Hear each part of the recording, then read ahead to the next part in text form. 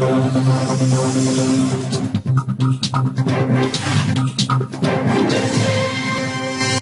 राष्ट्रीय स्वयंसेवक संघ द्वारा रक्तदान शिविर का आयोजन आज सरस्वती विद्या मंदिर प्रांगण चंदेरी में। कोरोना महामारी की विपदा के बीच सेवा कार्य की परंपरा को बढ़ाते हुए राष्ट्रीय स्वयंसेवक संघ एवं सेवा भारती के तत्वावधान में सरस्वती विद्या मंदिर प्रांगण चंदेरी में रक्तदान शिविर का आयोजन किया गया। रक्तदान की शुरुआत सरस्वती और भारत माता के चित्र पर माल्यार्पण पूजन कर की गई। चंदेरी नगर एवं ग्रामीण क्षेत्र के स्वयंसेवकों द्वारा कुल 35 यूनिट रक्तदान किया गया। रक्तदान करते समय सोशल डिस्टेंसिंग का ध्यान रखा गया एवं सभी रक्तदाता रक्तदान स्थल पर मास्क लगाकर पहुँचे। इस पुनीत कार्य में पत्रकार बंधुओं स्वास्थ्य कर्मियों अन्य गणमान्य नागरिकों एवं बीएमओ डॉक्टर एवं BMO doctor M L Kharka तथा अन्य सभी डॉक्टर्स का सहयोग प्राप्त हुआ और इसमें सभी संघ के सदस्य उपस्थित रहे तथा उपस्थित रक्तदाताओं को बुंदेलखंड चैप्टर समिति के सदस्यों द्वारा जूस और बिस्किट वितरित किए गए।